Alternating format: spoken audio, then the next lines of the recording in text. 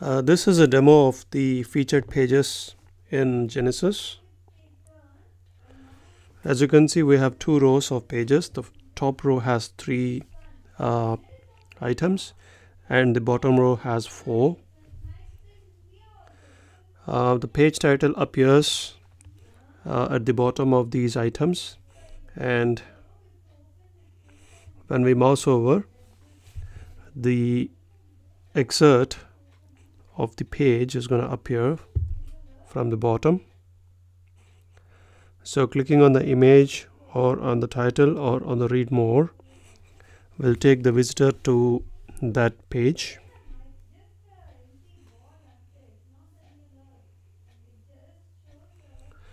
As you can see if a page has a, a manual excerpt that's going to appear instead of the auto excerpts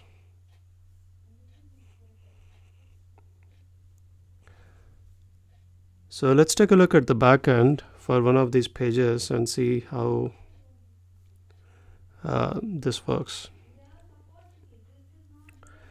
So here we are using Advanced Custom Fields to set up a custom field which is of true false type. So when the featured on homepage uh, checkbox is ticked, that uh, page is going to appear here.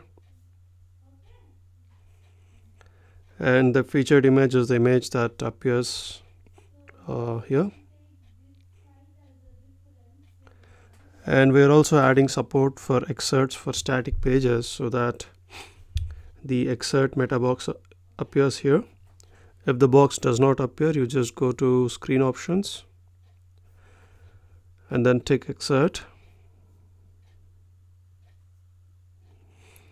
so after that you can type in your custom manual excerpts here.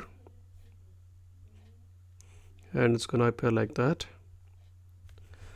Um, the default order that these items appear is going to be alphabetic in ascending order. But if you want you can uh, sort these things uh, by giving a page order.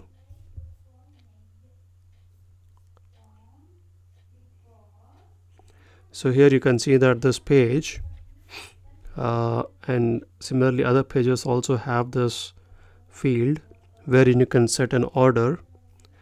So that will enable you to precisely control which item appears first um, and which item appears after the first one and so on